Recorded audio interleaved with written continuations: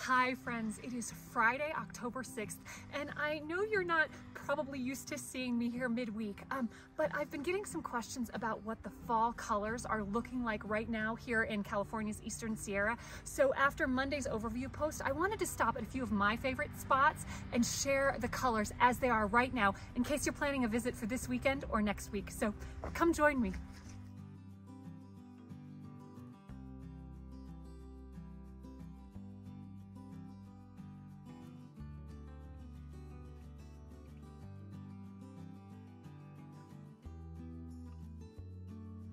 Our first stop is a famous California spot, and this is North Lake. Now, what's interesting is the colors are not peaking. There are hints of red higher up, but it's still fairly green. Um, the drive up has some gorgeous yellows, though, and uh, I think it would be great to visit, but don't expect it to be peaked this weekend.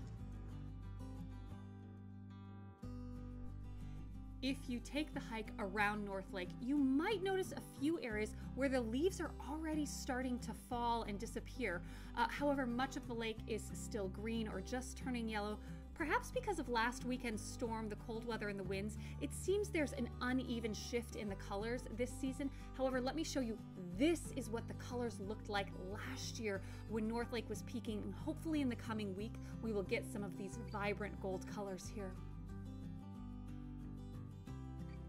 The drive to North Lake is beautiful, and there are definitely some golden aspen as you approach the parking area. And please remember as you make this drive, it is a gravel road on the cliffside, so drive responsibly and respectfully as you head to the lake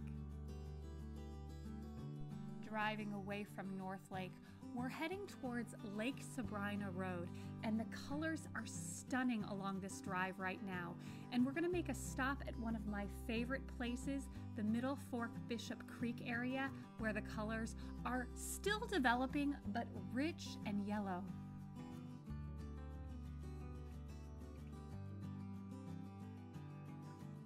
Continuing on the paved road next to Bishop Creek, you'll enjoy the golden colors and soon you'll reach Lake Sabrina. Now, right now, the water is so clear. You can see the fish swimming beneath you and the fall colors are starting to pop in pockets of orange, yellow, and gold here.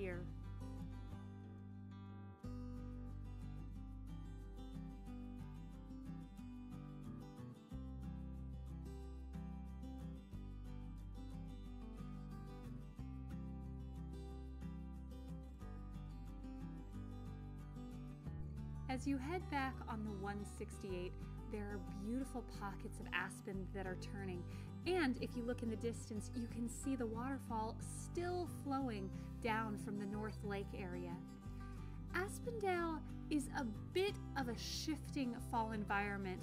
On one end, it's still very green, but as you continue up towards the higher elevations, you see the colors turning yellow and gold.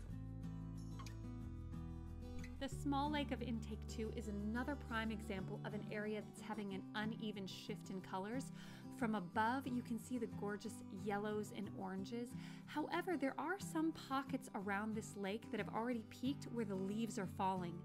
If you head towards the picnic and camping area, you'll see some beautiful aspen colors, and I think if you visit right now, you'll be impressed by the leaves.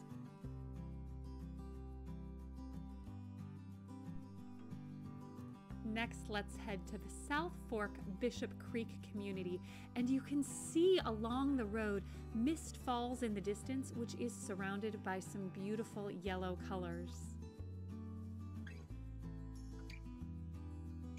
The drive along South Lake Road is a personal favorite of mine, and right now you are surrounded with beautiful fall colors here. In my opinion, some of the most picturesque views of the Aspen are found here along the edge of the creek. It's wonderful to enjoy the bubbling water and the aspen swaying in the breeze. It's no wonder the road leading to South Lake has long been a favorite with fall photographers, from the bubbling waters of the South Fork Bishop Creek to the beautiful snow capped mountain peaks in the distance. This is one of my favorite must stop spots on any fall Eastern Sierra adventure.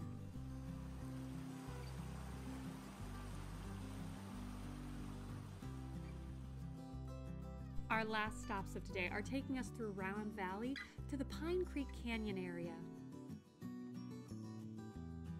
As you begin this drive, everything is still looking very green, but as you continue, there are pockets of yellow to be seen.